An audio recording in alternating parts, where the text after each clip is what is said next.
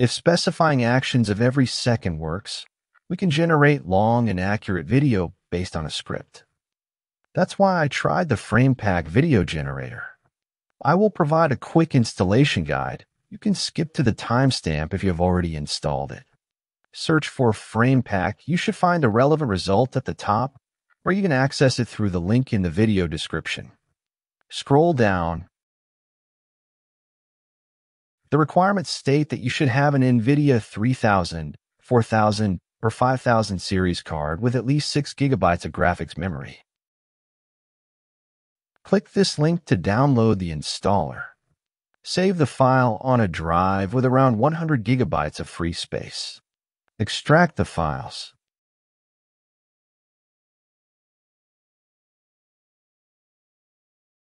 I have two files. One is to run the project and the other to update it. I will update first because work is still being done on this project. The update is complete. Now let's run the program. I just remembered an update to FramePack called FramePack F1. This is the main file to start the simple version of the project. Below it is the F1 version of the same project, which means I need to run the second file to start the F1 version. Going back to the root directory, this run file is set by default to start the simple file we just saw. I will copy and paste the run file, then rename the second file to F1. Next, I will right-click and edit the file. Inside, the file currently references the simple file. I will change it to the name of the F1 file and then save it. Now you can start the new version with the F1 file and the old version with the run file. Double-click the F1 file and it will start downloading the necessary models. This may take some time due to the large file sizes. The application is running, and there is a quick prompt here. This image to video software should have provided an example image to begin with. I clicked generate and it gave an error for a missing image. Let me upload an image and my prompt will be Thanos playing soccer with humans. I will increase the video duration to 10 seconds and then generate the video. This application requires around 55 gigabytes of RAM and my 32 gigabytes is fully occupied. Additionally, the graphics card is completely utilized.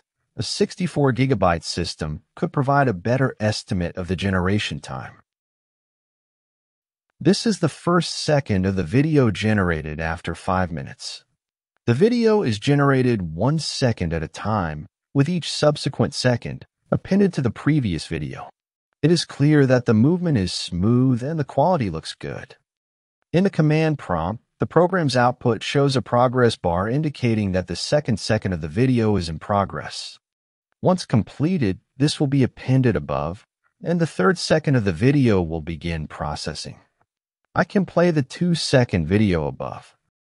The output displays the total number of steps and the completed steps.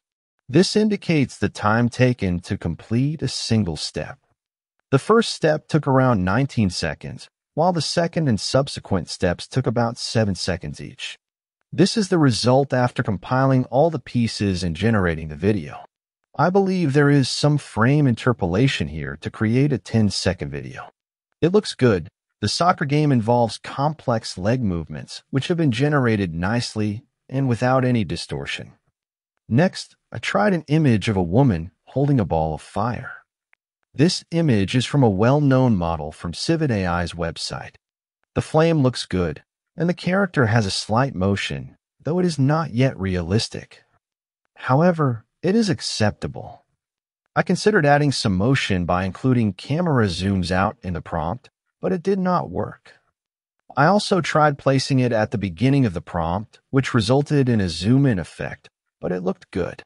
The 10 second video could have brought us closer to the ball of fire in her hand. I will be testing a few more keywords for motion and will share a video once I find something that works. If you have an object and want a video like this, it works well. There are very minor mistakes, but they are negligible. I found another image on the internet depicting a character falling from the edge of a building.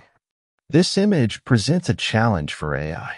My prompt was a woman falling backward off the rooftop toward the street. The AI model did not understand the logic of falling. I believe this model does not grasp the physics of falling objects in motion. However, it did capture the other elements of the prompt, such as the woman screaming, her arms outstretched, and her hair and scarf blowing in the air. You may be able to create shorts with this, but not full movies, as the character may not fall as realistically as you would like. Perhaps it could work for a horror scene where someone is possessed. Next, I tried something interesting. The project is called FramePack Studio. It's a variation of the original project we saw with some changes. I find it interesting because of the timestamp prompt. Unlike what we saw at the beginning, there isn't a simple installer. The requirements here specify Python 3.10 and a CUDA GPU with at least 8 gigabytes of memory. Installation is possible via Pinokio. The Pinokio installation is straightforward. You just need to click a few times. I will link a video in the description for the Pinokio installation process. Go to the Discover section, then to Community Scripts. FP Studio is the one you need. Click Download, and the subsequent steps will be simple. However, I need to update Pinokio. I couldn't find any update option inside, so I downloaded and reinstalled it. I noticed that FramePack Studio was present in the Home section, so I clicked to open it and completed the installation process. This will take a significant amount of time due to the large files.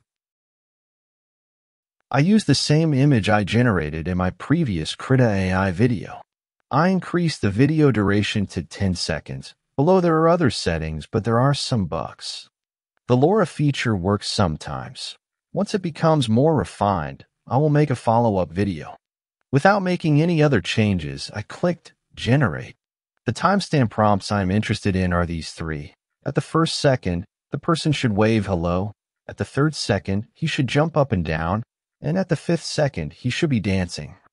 The generation process is the same as I explained before, with each second being appended. Here is the result but it does not go full screen, but I can download it and show you. The hello is missing, but I got the jump and dance actions in this video.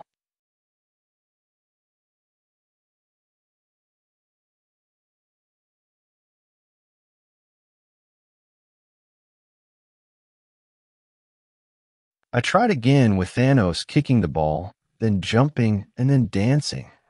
I think Thanos should have kicked the ball at the third second, I should have given it more time.